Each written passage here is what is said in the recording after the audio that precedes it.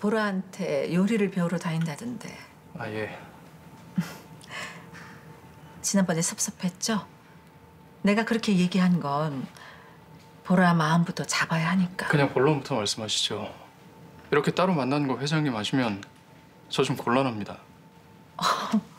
섭섭하네 그렇게 얘기하니까 예, 아시잖아요 회장님 어떤 분인지.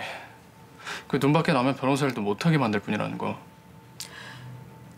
지난번에 그 얘기 뭐예요? 회장님이 다 아실 거라니? 이 사모님께서 그 소송에 대해 알아보고 다니신다는 얘기가 제 귀에까지 들려왔는데 회장님이 모르시겠습니까? 그래요? 저 아무튼 웬만하면 회장님이랑 맞서지 않는 게 좋을 겁니다. 회장님이랑 싸워서 이길 확률 제로거든요. 왜 회장님께서 그 수년간 법조계 사람들이랑 따로 모임을 갖고 뒤를 봐주셨겠습니까? 네, 도움이 못 돼서 죄송합니다. 저 그럼 먼저 가보겠습니다.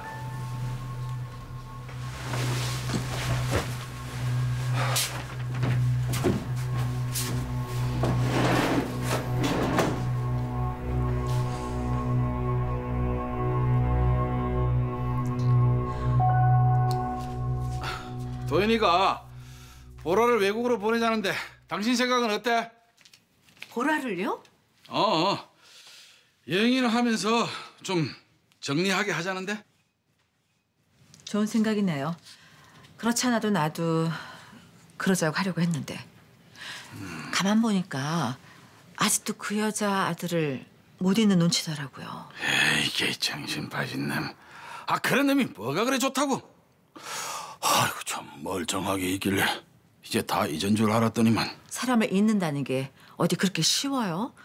집에서 일하는 여자 아들이란 걸 뻔히 알면서도 그렇게 만났다는 건 그만큼 좋아했다는 건데 닥치는 대로 일하는 것도 그렇고 가끔 술 먹는 것도 그렇고 그 이유가 뭐겠어요?